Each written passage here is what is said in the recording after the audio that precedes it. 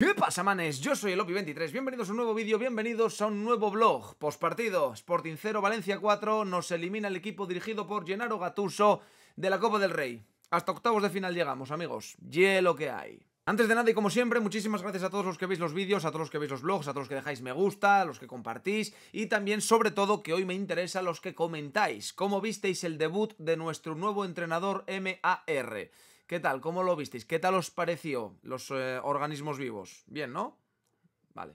Para los que os interese, no pude ir al Molinón hoy porque al ser a las 7 de la tarde, teniendo que trabajar y tal, no me daba tiempo de ninguna forma a llegar al estadio, que además está haciendo aquí un tiempo de la hostia, ¿eh? Aquí está nevando, granizando, o sea, está un clima tropical del todo. Para compensar que no fui al campo, hice directo en Twitch y lo tenéis por si lo queréis ver, ¿vale? Tenéis el VOD si os apetece ver la reacción a cada uno de los goles, o a cada uno de, bueno, de los eh, momentos, de las generaciones de espacios que tuvimos a lo largo del partido. De los fluidos vivos. No sé si incluso ahora mismo cuando estés viendo esto estoy en directo en Twitch, pero puede ser que estemos con el modo carrera. Puede ser, eso ya te lo digo, por si quieres pásate por allí a saludar. Vale, debutaba MAR después de ser presentado ayer, apenas tuvo un entrenamiento para, bueno, conocer a la plantilla, pensar qué iba a poner y salir a jugar, y decidió salir pues con una formación que en principio, a ojos nuestros, sería una especie de 4-3-3, ¿vale? Para que nos entendamos, más o menos que nosotros no somos especialistas en analizar lo que ven siendo organismos vivos, pero ojo de más o menos por encima era un 4-3-3 con Guille, con Grajera de central, con Insua en el otro central, con Diego en la banda, luego un centrocampo con Nacho Martín, Pedro y Zarfino y luego arriba, pues por una banda Otero, por la otra Keipo y en punta Uros Jurjevic. Bueno, esa sería la alineación que sacó en principio como su primer once oficial eh, entrenando al Sporting de Gijón MAR. Y pues la verdad que no, no funcionó muy bien. No funcionó muy bien porque en 20 minutos llevamos perdiendo 0-2.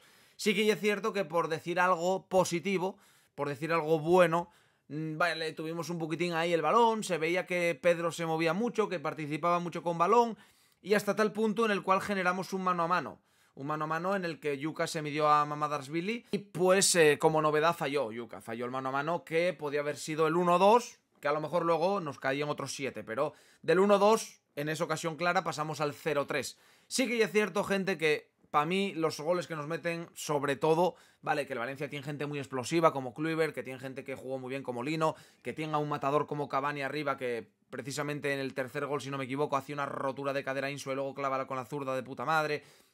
Pero es que hasta, el, hasta esos jugadores pudieron meternos otros estantes. O sea, pudieron haber marchado el Valencia hoy de aquí con un 0-7. Tranquilamente, ¿eh? sin ponerse ni colorados. Pero me jode porque precisamente justo tuviste tú para el 1-2 y de ese 1-2 pasaste al 0-3, luego ya llegó el 0-4, un gol anulado del 0-5 por poco de cabeza, creo que fue a Hugo Duro, creo. Y tú ya no tuviste más. O sea, ya no tuviste más. Tuviste alguna contra, alguna pijadina, no tuviste más. Sí que es cierto que luego hizo los cinco cambios, probó a todos los jugadores, por decirlo de alguna forma, a todos los jugadores posibles. Eh, em, MAR metió eh, al descanso, metió a Cali por Keipo, pasó, pues eso, a Cali de central, subió a Grajera, bueno, movió ahí un poco la historia. Luego hizo un triple cambio donde metió a Campuzano, a Cristo y a Milovanovic, que metió todo delanteros. Quitó a Otero, a Yuka y, y a Zarfino, que quedó con Pedro Grajera. Y luego, pues más cerca del final, metió a, Paul Valentín por Diego Sánchez. Bueno, eh, no sé, tampoco puedo deciros mucho más. Que hay un marrón, que hay un marrón, que reconozco que hay un marrón que este tío hoy debute contra un Valencia en Copa del Rey, con un entrenamiento que a lo mejor lo suyo era pues haber dejado que Pitu se comiese este marrón y lo más probable es que nos hubiesen eliminado igual pues eh, probablemente a lo mejor era lo más sabio dentro de lo que sería la, la gestión para que este tío no llegue y se encuentre con que sus primeros 90 minutos como entrenador oficial del Sporting ya que te emplumen 4-0 que podían haber sido 8 si no llega a ser por pares de Mariño y por fallos catastróficos porque Cavani fallate, lo mismo que te mete dos goles, te falla una que está solo y la sapió a casa su puta madre. Que decirte, que a lo mejor no hay en la mejor plaza para empezar toreando hoy, un Valencia.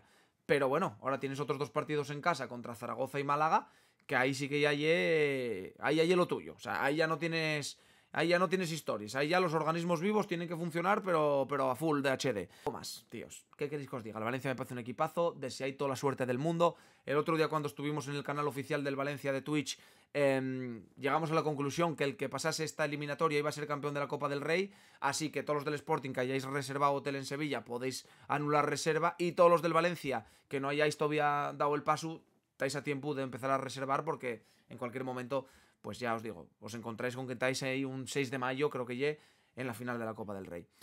Poco más que deciros, gente, poco más que añadiros. Estaremos en Twitch, iremos comentando todo en Twitch, tenéis el VOD por si queréis ver las reacciones en Twitch, y nada más.